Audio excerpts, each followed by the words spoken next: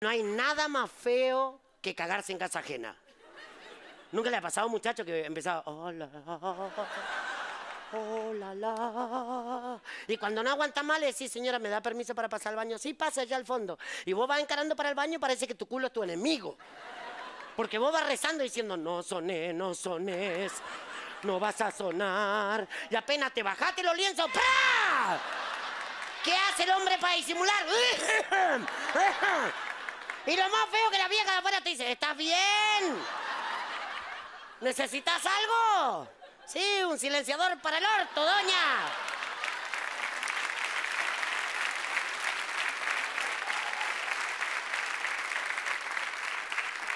El hombre tiene distintas clases de caga, la vamos a resumir, ¿dale?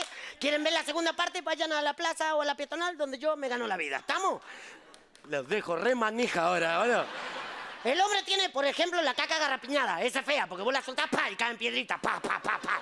Después tenés la caca churretera, esa es fea, el bocinazo, pa, pa, y se te abre el culo. Pero la peor caca es la caca flota flota, porque de repente vos terminás, tirás la cadena, hace así y vuelve. Y volvés a apretar el botón y hace así y vuelve. Y vos lo querés soplar para que se vaya y no se va. Y bueno, meter la mano y lo molé, ¿o no? Pero la peor caca caca misil. Si me sale bien el aplauso más fuerte y con esto terminamos. Yo la bauticé la caca misil. Es el grueso, el sólido, el pesadito, el espinoso, el que te viene arañando el culo por dentro, ¿me entendés? Que vos haces fuerzas. Pero si respirás, se manda para adentro, ¿viste?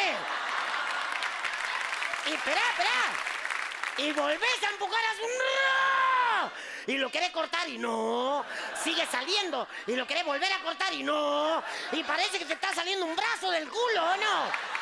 Y lo más feo que cuando lo cortás cae el inodoro y te salta una gotita en el medio del culo, ¿o no?